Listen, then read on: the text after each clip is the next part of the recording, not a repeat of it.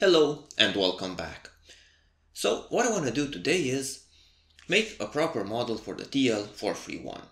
Now you might remember from last time that the models that are available from the major manufacturers are not that good. I mean, they're good, you can use them, but they're not accurate enough for my personal taste. So if you're curious about how you can make a better model for the TL431, one that better resembles the measurements that we've done last time, then keep watching.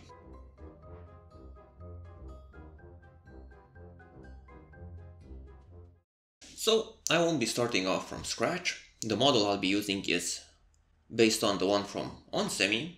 So let's quickly have a look at it, see how it's built and how they've designed it. So this is the model that you can find on their website. So this is the model laid out as a comment in LTSpice. And what I've done to make it a bit more visually easy to follow is lay out all the components according to their netlist. Now you can check to see if this has been done well by looking under the view spice netlist window and here you will see all of the components that are in your schematic.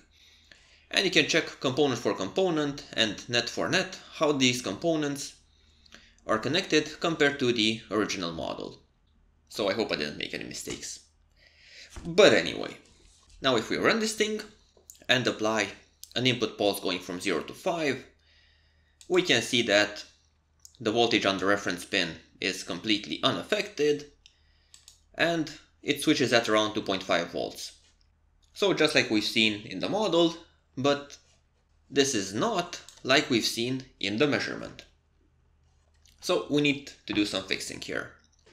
So first of all, let's look at how this model was built. They're using as a reference a behavioral voltage source whose voltage is 2.5 volts if the cathode anode voltage is above 2.5 volts, otherwise it's the cathode anode voltage. So net 7 and 6 are the cathode and the anode of the model. Now they're comparing this to the reference pin and driving a current source. Then we have a bunch of resistors and capacitors this basically models the frequency response behavior. Then we have another voltage dependent current source which drives the output. And then we have a couple of diodes and the voltage source. And the role for these is first of all D1 is preventing any sort of voltage going out of the circuit so you can only sink current. And then the combination of D2 and voltage source 1 set the minimum voltage to which the circuit can clamp. So basically this is where this lower voltage threshold, so the output doesn't drop to zero, it drops to about 1.6 volts. So this is where this 1.6 volts is coming from. 2 volts minus the voltage drop on D2 and then adding the voltage drop on D1. So what do we need to do to improve this model? What are the things that we need to fix on it? Well, let's take it one at a time. So the first thing that we've noticed in our measurements was that the input voltage doesn't continue when there's a voltage applied to it larger than 2.5 volts, but rather it's limited. Now, one way of doing this is to simply take a diode and connect it from the input to the cathode of the circuit. And if we do this, we get quite a weird behavior. So first of all, we get this glitch thing and then we see that the voltage sort of stabilizes on the input pin. Now, another thing we can say since we're talking about the input pin is that there's absolutely no current going through it before 2.5 volts, so it's in the order of nanoamps, whereas if we look in the datasheet, we can see that the input current is around 2 microamps. Now this again is important to model in case you're creating a circuit with very large feedback resistors. Then this current will start to become a problem. So what we can do to model both the effect of this diode and the current consumption on the input pin is simply put a transistor on the input. So just like we see in the schematic of the circuit, we can model this first transistor and simply add some sort of resistor in its emitter. Something like this. So I added the generic transistor and the 5 kilo ohm resistor. And now if we simulate and look into the reference pin of the circuit, well, we still have this glitch, so we're gonna have to fix that a bit later. But now, if we look at the current going through this pin, just before we reach the 2.5 volt threshold, we are getting somewhere around 1.1 microamps.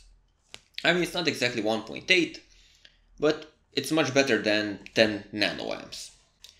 Now, one of the weird things that they've done with this model is to set the reference voltage dynamic.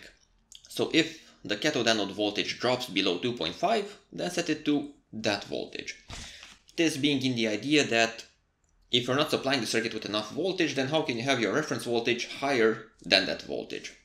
So I went ahead and tried this out, see how this behaves in real life.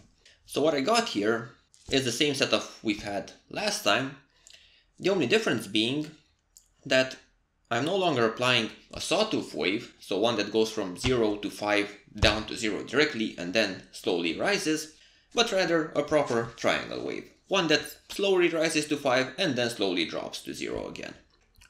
And what we can observe from this is that the voltage at which the signal switches, so with yellow we see the voltage on the reference pin, and with blue we see the voltage on the cathode, and we can see that the switching action, so when the switch goes from off to on and again to off, is roughly at the same voltage.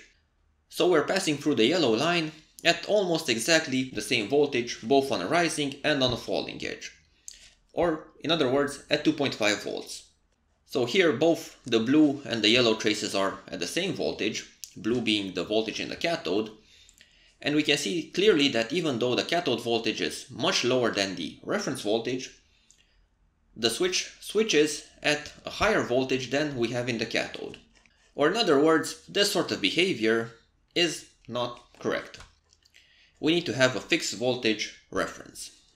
Something like this. Now if we run this, and we now check the input reference pin, what do you know? We fixed one of our problems. We no longer have this glitch going on. So, what else is there to fix?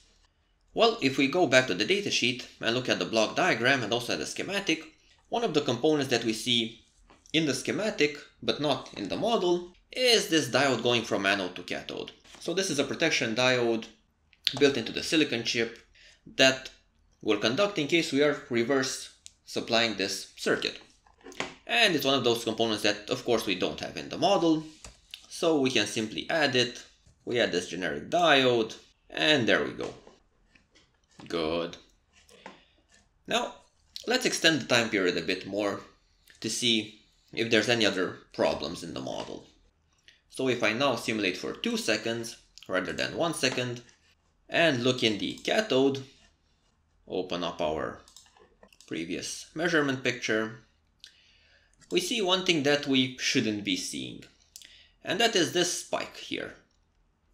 So when the switch turns off, we don't just get the 12 volts that we're supplying the circuit with, we get a spike going up to 16 volts, which does not appear in the real measurement. So where's this coming from? Well, if we look for the circuit, we have this voltage dependent current source.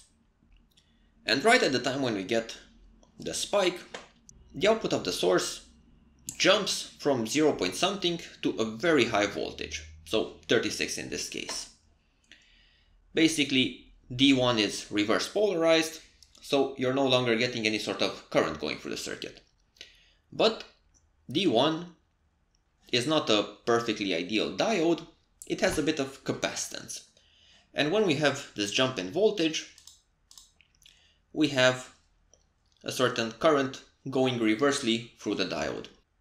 And this is causing the voltage in the cathode to increase above the 12 volts that we're supplying the circuit with. So what we need to do is simply make G2 only provide negative current, not positive current. And we can do this with a behavioral current source that will replace this voltage dependent current source.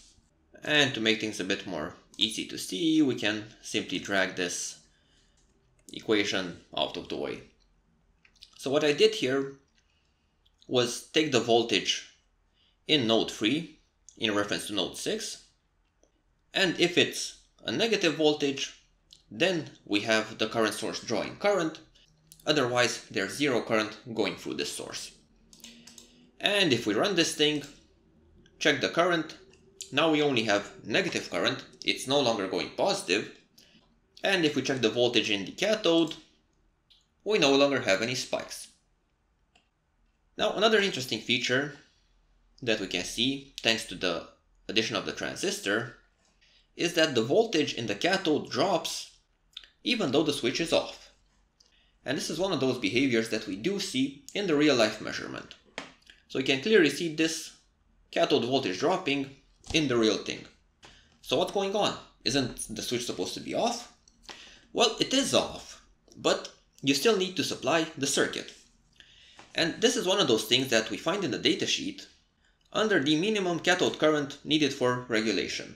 So to get the circuit to work, to get the reference at the correct voltage, we need to supply it with a bit of current, even if we're not turning on the final switch transistor. And in the simulation, we're achieving this by the Q1 and R6 pair. Basically, if you're polarizing Q1 with any sort of voltage, it will start to turn on and conduct into R6. So basically what's happening here with this voltage drop in the cathode is that we're getting a bit of current, so 0.4 milliamps in this case, driving R6. It's not the 1 milliamp that the datasheet is talking about, but it's very close.